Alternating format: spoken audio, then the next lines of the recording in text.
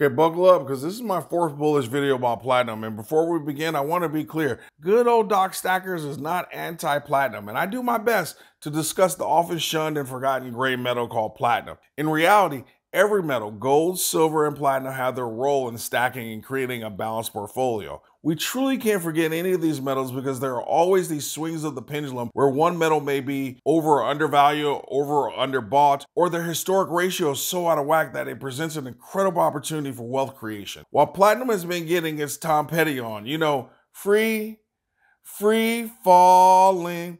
Okay, never mind. Gold and silver have been a better place to put your stacking dollars. So platinum didn't get much love. And looking back, it's clear that since 2021, platinum has been bottoming and developing a base, which makes it far more attractive. Just like I'm drawn to attractive women, I'm drawn to attractive metals. Uh, that sounds weird, doesn't it? Anyway, you know what I mean. Regardless, at every school and almost every class, there is at least one student in that class that doesn't know how to act right. Well, I have two over on Discord, and they would have you believe that we're in an upside down world because I'm actually talking positive about platinum. So I encourage you not to get caught up in their nonsense. And I have to admit, I was a little skeptical at first because I like to underpromise and overdeliver. However, the case for platinum has now become extremely compelling. And if you've seen the previous videos, I need you to give me 30 seconds to quickly recap why platinum is so compelling right now with my top five reasons. And then I will get into why the train is about to leave the station.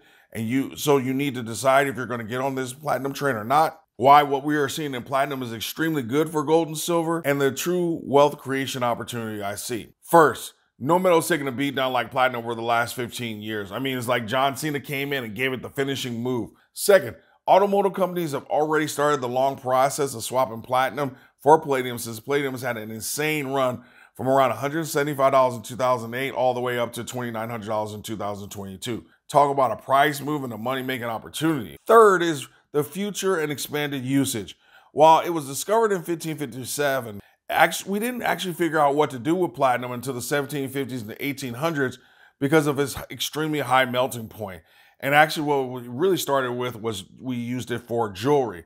And a little fun fact Russia was the first country to use platinum as money in the 1820s. And during World War II, the United States actually declared it a strategic metal and banned its use in all, all non military applications which actually didn't change until the 1970s. So looking forward, platinum will maintain heavy use in diesel trucks as well as assist in the development of fuel cell vehicles, which is very bullish for the metal. Four, historic ratios. While I've covered this in previous videos, based on historic ratios, platinum is cheap in comparison to gold and cheap in comparison to silver, which sets it up to potentially outperform both metals. Five, price to value.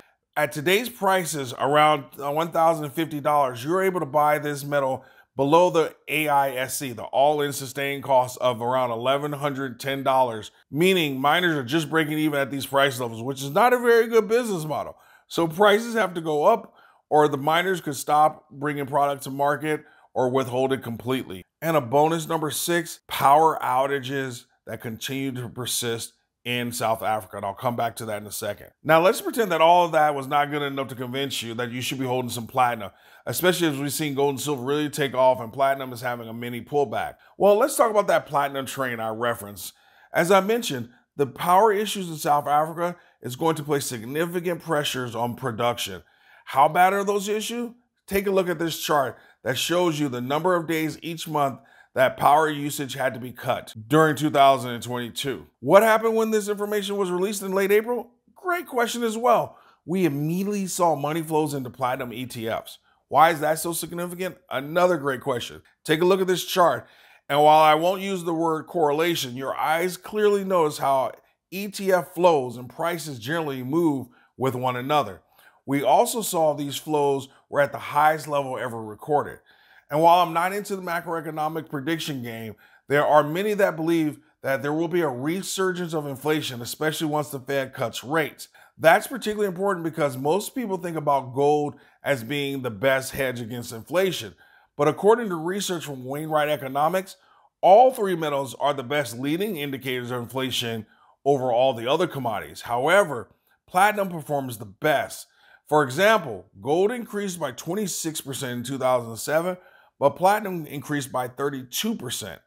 In addition to that, platinum responds two months sooner than silver and four months before gold, in high inflationary environments. So even if you don't purchase platinum, its price action is still something gold and silver investors should watch as it may be giving you early warning to what may happen with the metals. Continue with this theme of platinum being an early price responder, which is where things actually really get interesting for you silver bugs. I'll warn you that these charts will be coming up pretty quickly and they won't stay up long, so pause or take a screenshot.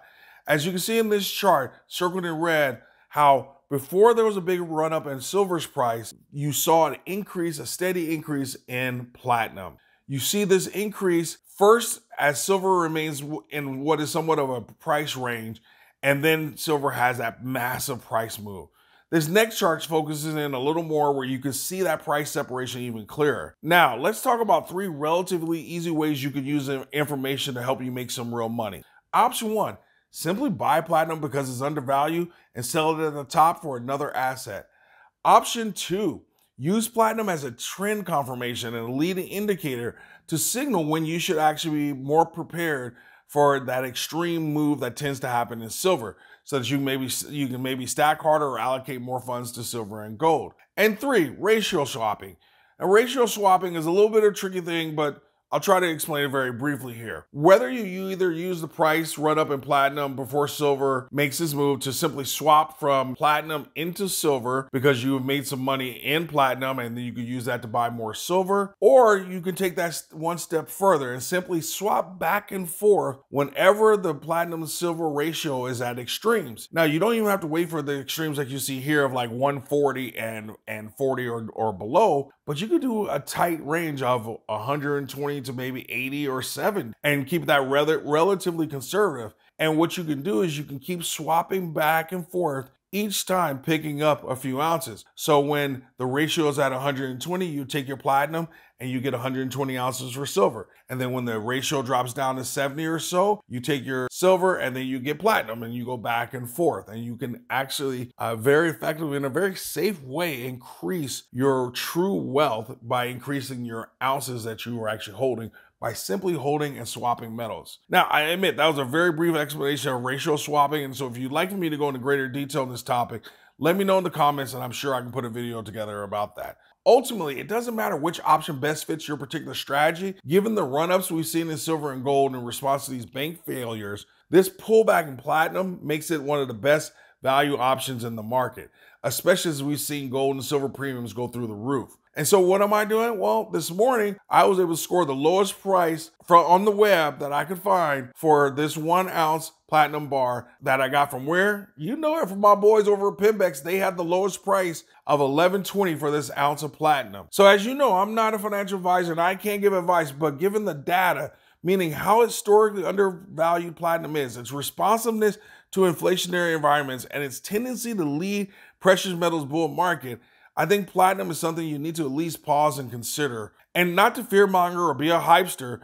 but I do believe the window of opportunity is closing quickly as metals are quickly heating up. And if we agree that platinum moves first, then who knows how long you have to take advantage of platinum being the first out of the gates. Let me remind you, last year, platinum finished somewhere around 10% positive, while gold was neutral and silver was down a good bit. Just food for thought. In the comments, what do you think about platinum being this early responder? And what keeps you from investing in platinum? Is it the buying and selling aspect or the lack of familiarity and popularity of the metal? Do you think that Doc Stackers is anti-platinum? And don't forget to put an A plus in the grade book because sometimes you need proof that you always stack smarter and never stop learning.